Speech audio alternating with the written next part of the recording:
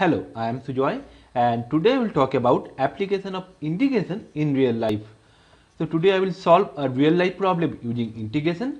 Then I will solve an integration problem without doing the integration. Then I will solve an integration problem using a graphical calculator Casio FX9860G2. Then I will solve the same integration problem using a normal scientific calculator.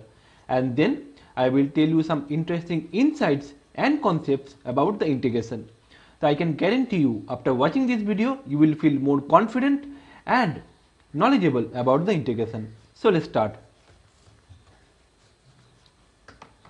These are our question. Speed of a car is measured for a time duration with a fixed time interval given in the following table. Calculate the total distance covered by the car during that time duration. So here the table is given where the time values from 1 to 10 with the interval of 1 minute and corresponding speed of car is given. So at the very first minute speed of the car was 9 km per hour. At the second minute speed was 16 km per hour and so on.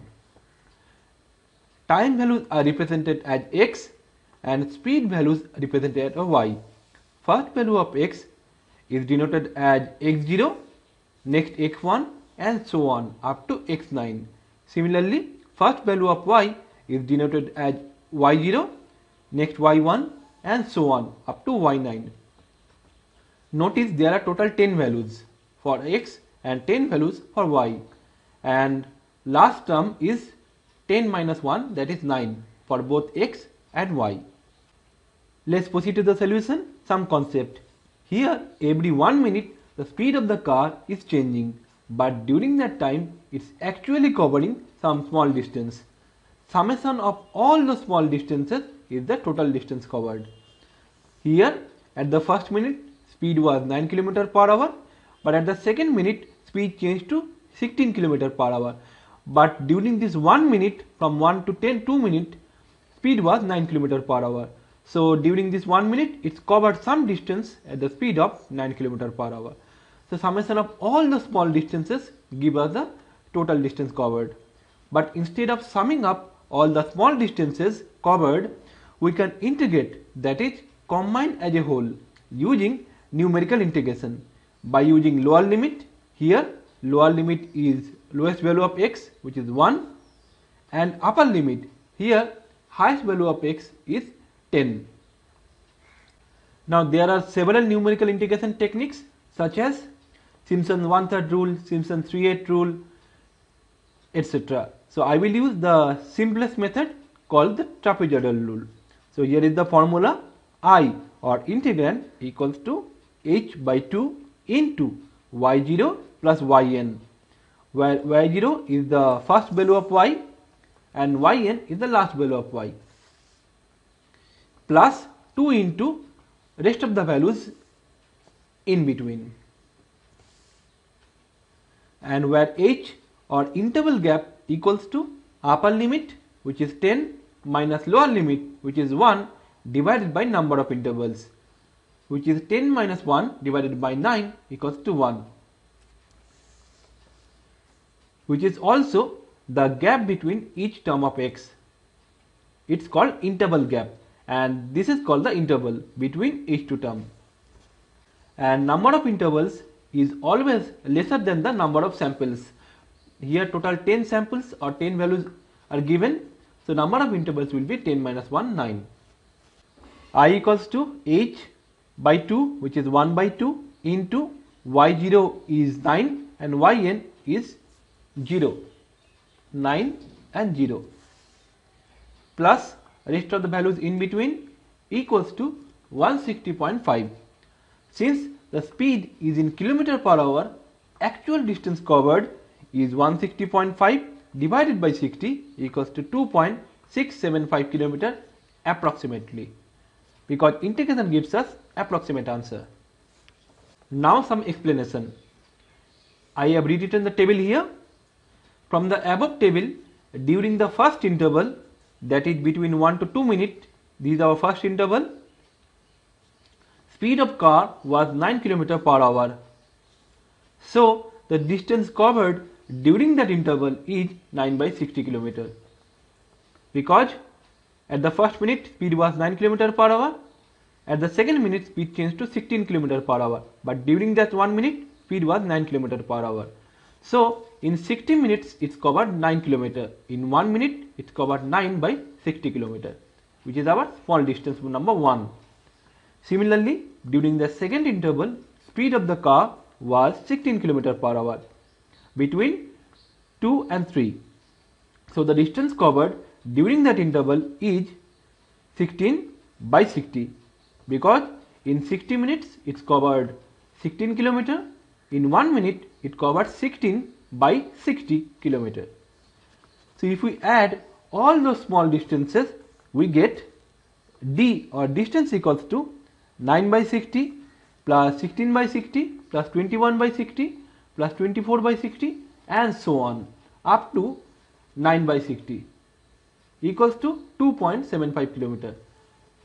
Notice that we are not taking the last value because here intervals are 10 minus 1 9 so total 9 values will be there 1 2 3 4 5 6 7 8 9 except the last one because the last interval is between 9 to 10 and this is our last sample not interval. So what is the difference?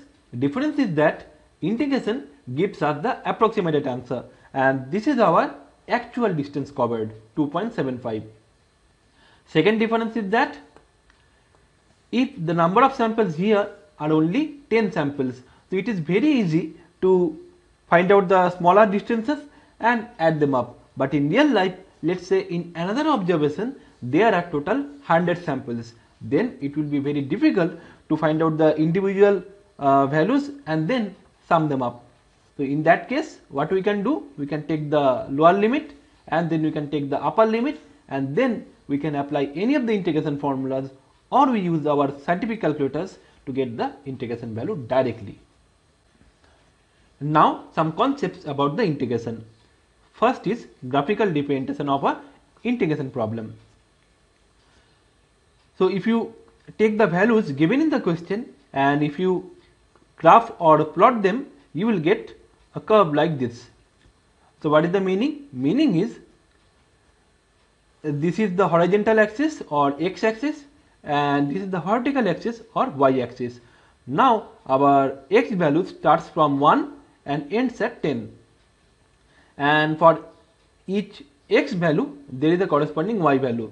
So for x equals to 1 y is 9 next for x equals to 2 y increases to 16 so you can see 9 and then upward that is increase in y value in the positive direction. So basically at some point it's basically increasing. After that according to our given data it started to decrease. After the 5 minutes from the 6 minutes started to decrease. So you can see after 5 basically from 6 it started to decrease. That is the graphical representation of our problem. So what we are basically trying to find is the area under this curve uh, this is the horizontal axis and this is our curve and the area shaded in pencil is our required uh, value which we want to find. So how we can find it? If you have a graphical calculator which I will show you a little bit later you can directly find it out but using graphical representation for theoretical purpose what we do we basically cover this area by using small rectangles. So you can see this value is our interval gap for 1 again 1 again 1 and so on and this is the height which corresponds to the y value and this corresponds to the x value. So we know the area of this small triangle uh, rectangle the first rectangle will be 1 into y so it will be 1 into 9 similarly for next one it will be 1 into 16 and so on. So if you add all the small areas of the rectangles you will get approximated area of the curve. Next the polynomial representation. Do you know an integration problem can also be represented using a polynomial or a function like this one. This is called function of x or f of x also called y. So y equals to f of x equals to integration of 10x minus x square. This is the function representation of our problem. I basically didn't me measure the speed of the car every one minute uh, because that is not possible for me but I can form a polynomial which can give me the table like this one. Let me explain that to you. Starting from 1 is our lower limit, ending at 10 is our upper limit. If you put x equals to 1 here, what we will get? 10 into 1 that is 10 minus 1 square. 10 minus 1 is 9. So for x equals to 1, y is 9. Next for x equals to 2, 10 into 2 is 20 minus 2 square is 4. 20 minus 4 is 16. So for x equals to 2, y is 16 and so on. In some problem, the table may not be given. You may be presented with the function of x like this one. You have to form a table by putting individual values and then from that table by using any of the integration methods you can find out area under the curve. Now let me show you how you can solve this problem uh, directly on this fx991 ES scientific calculator. For that press the integration button then 10 press alpha and this button for x minus alpha this button for x again square scroll down lower limit 1 upper limit 10 and press the equals to button. So area under the curve is 162. You can construct this table directly on this calculator. For that press mode 7 for table mode.